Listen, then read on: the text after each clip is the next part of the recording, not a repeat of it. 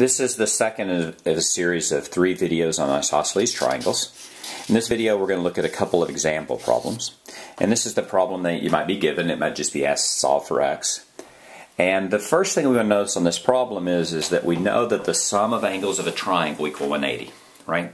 So the three angles add up to 180. And we have two angles. So we can add these two angles up, 64 and 58.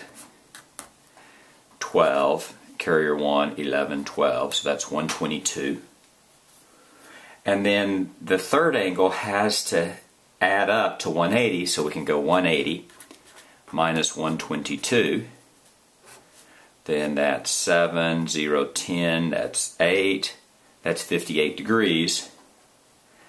And the key to this problem is we can do that even if we don't yet know how we're going to solve this problem. If you're ever given two angles of a triangle, you can always find the third.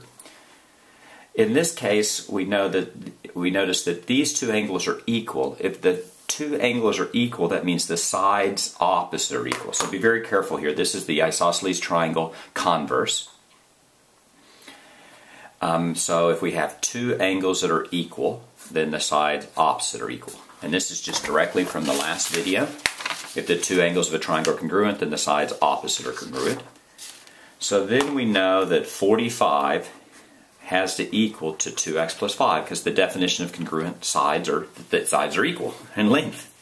So now we simply subtract 5 from both sides and divide by 2 so we get x is 20. And that's what we would know. We could always check our work to make sure if we plug this back in, we get 2 times 20 plus 5, which is 45, which is exactly what the theorem says.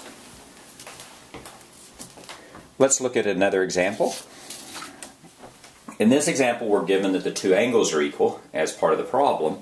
And so here, what you have to do is make sure you know which sides are equal. We have three sides. Um, the key is, is that the sides opposite the equal angles are opposite. So here are the equal angles, here and here. So this side, the side opposite, and the side opposite are equal. So this side and this side are equal. Once you know they're equal, then it's just simple algebra, right? You just go 18 is equal to 4x minus 6. Um, you add 6 to both sides. 4x is, oh, that's 24, and x is 6.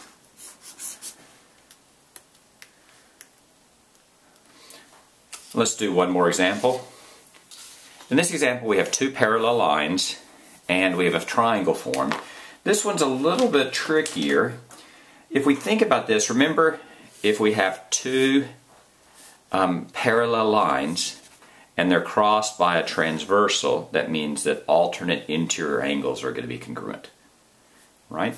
So there and there. So if we look at that here, if we look at this angle right here, and this angle right here, you can see that those are alternate interior angles. Let's draw that out again. It's just this, and we don't use this side right here. We know that this angle and this angle are equal, so that angle right there is 90 minus x. Now if we look at this, now we look at this line here, we have a parallel line and a parallel line, so we know that this angle and this angle are also alternate interior angles. Let me draw that out real quick. Right, you have these two lines and this line here this angle and this angle are going to be alternate interior angles. Which means this right here is going to be 2x. At this point, if you want to, you can just draw your triangle over again, or you can just read it from this. It doesn't necessarily matter. What I know here is I have a triangle. I know this side is equal to this side. I know that this is 90 minus x, and this is 2x. I know that if two sides are equal, then the two, uh, two sides of a triangle are equal, then the two angles are equal. Right? That's the isosceles triangle theorem. So I know that 90 minus x is 2x, and now it's just algebra. I'm going to add x to both sides, and then I get 90 is equal to 3x, and x is 30.